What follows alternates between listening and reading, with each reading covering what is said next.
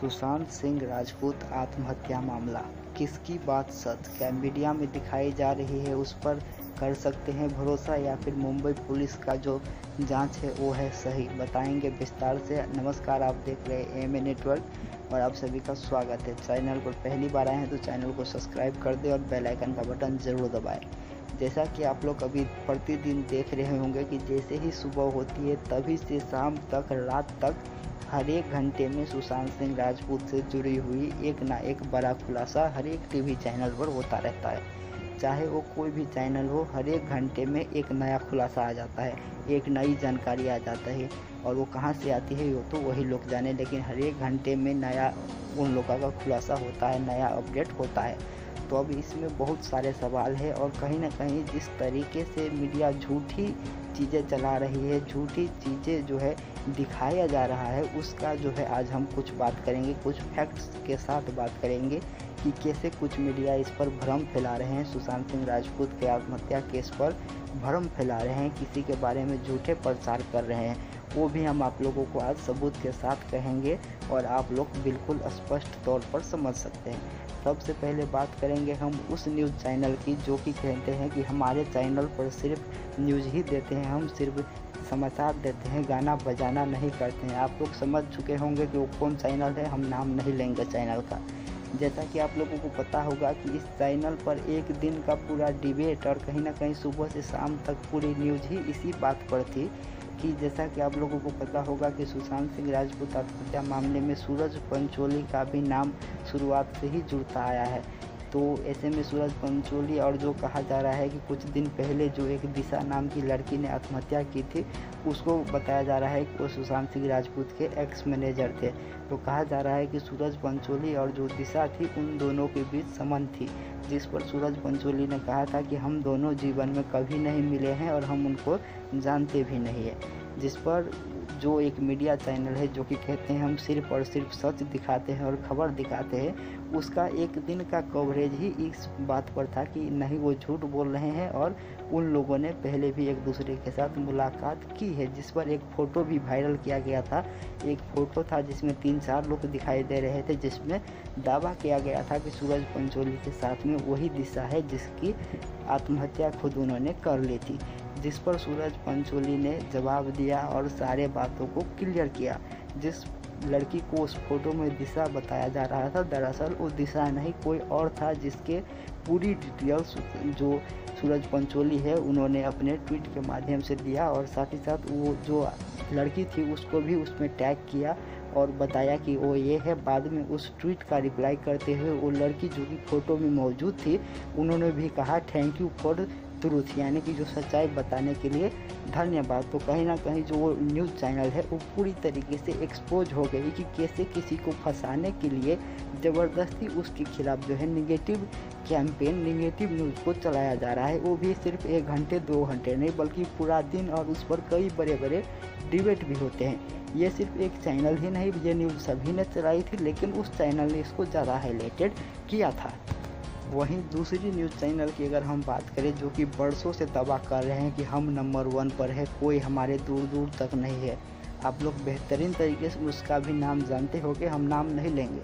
उस चैनल ने तो कितने झूठ बोले हैं, अगर हम उसकी गिनती करने बैठे तो सुबह से शाम हो जाएगी, लेकिन हम आप लोगों को कुछ जो बड़े बड़े झूठ है, जो पर्दापाश हो चुका है, उसके बारे में बात करेंगे। पहला झूठ जो उस चैनल की एक वरिष्ठ एंकर जो कि बहुत सारा प्रोग्राम करती है और बहुत ज़्यादा पॉपुलर है, उसने ये कह दिया कि जब तक सुशांत सिंह राजपूत के पिता ने रिया चक्रवर्ती के खिलाफ एफआईआर दर्ज नहीं कराई थी, उससे पहले हमने उनका नाम इसमें जो है नहीं लिया था, उसको हमने मुख्य अभियुक्त नहीं कहा था।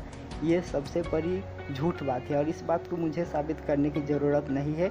आज तक की ही आप लोग वो रिपोर्ट देखी है। सबसे पहला जिसमें ये कहा जा रहा होगा कि जो सुशांत सिंह के पिता है, उसने बिहार में रिपोर्ट दर्ज कराई है और उससे पहले की इस मामले पर आज तक की कवरेज देखिए तो आप लोगों को पता चल जाएगा कि क्या रिपोर्ट चलाई और क्या कहा गया है।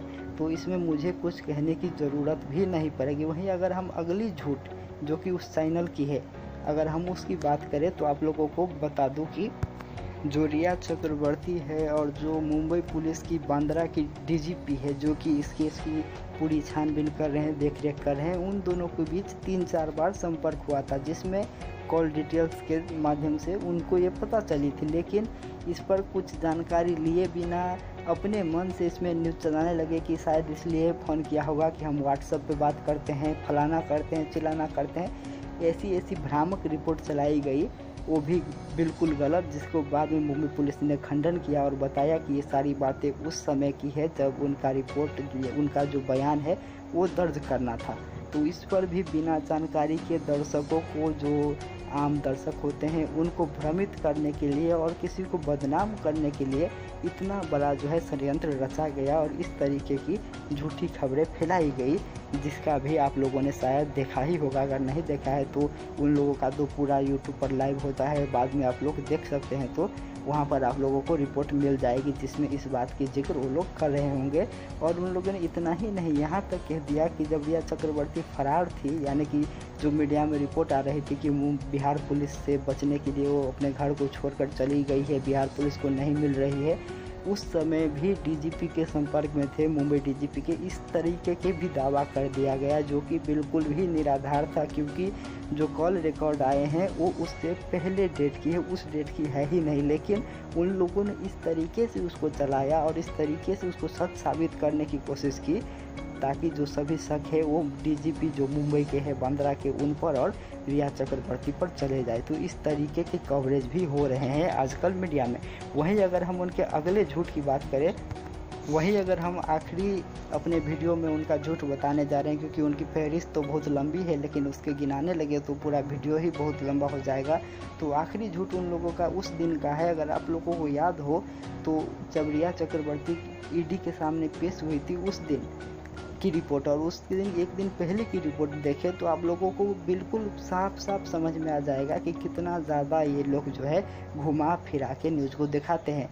उसी चैनल पर यह बताया गया था कि रिया चक्रवर्ती अपने घर पर आ चुकी है। अब वो अपने मुंबई वाले जो उनके घर है, उसमें वापस आ चुकी है। लेकिन उसके जो और दूसरे दिन थी, उसमें क्या दिखाया जाता है कि नहीं भाई साहब, वो तो उस घर में थे ही नहीं, पता नहीं कहाँ से आ गई किसी को पता ही नहीं चला।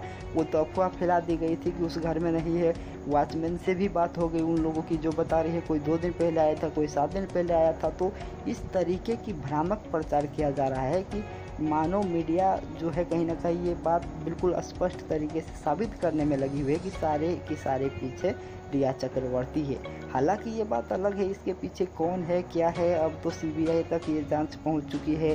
सुप्रीम कोर्ट में मामला चल रहा है ईडी जाँच कर रही है तो जो भी सच होगा वो तो सामने आएगा ही। लेकिन किसी पर इस तरीके के आरोप लगाना और मान कर चलिए कि आगे के दिन में सीबीआई की तरफ़ से ईडी की तरफ़ से, सभी की तरफ़ से रिया चक्रवर्ती को क्लीन चिट मिल जाती है। एक मिनट के लिए मान कर चलिए।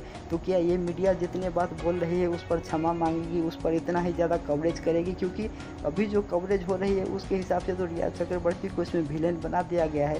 लेकिन बाद में अगर वो क्लीन चिट मिल गई, उससे भी क्या फ़र्क पड़ता है? क्योंकि जो इमेज होता है जनता में, जो दर्शक में, वो तो अभी विलेन का मीडिया ने बना दिया है। तो इससे जो है उसकी करियर बर्बाद हो सकती है, उस जो है आत्महत्या करने की उकसाहट कहते हैं, वो भी हो सकता है। लेकिन गैर जिम्मेवार, पूर्ण तरीके से किसी के खिलाफ, बिना किसी तथ्य के वो भी जो रिकॉर्ड है, उसको तोड़ मरोड़ कर दिखाना कहीं ना कहीं अभी इंडियन मीडिया के फ़ैशन बन चुकी है, जिसके जाल में कई सारे लोग फंसते जा रहे हैं। तो इस पर कहीं ना कहीं अभी गौर करने की स्थिति है।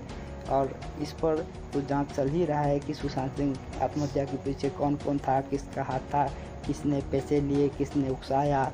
तो ये सारी बातें एक अलग है। अजीब अजीब तरीके की बातें मीडिया में हो रहे हैं। मान लीजिए कोई मीडिया कह रहा है कि सुशांत सिंह को उनके दीदी के साथ नहीं जाने दिया, उसको अपने काबू में कर लिया था फ़ोन नहीं कर देने दे रहा था मतलब अजीब तरीके की बातें।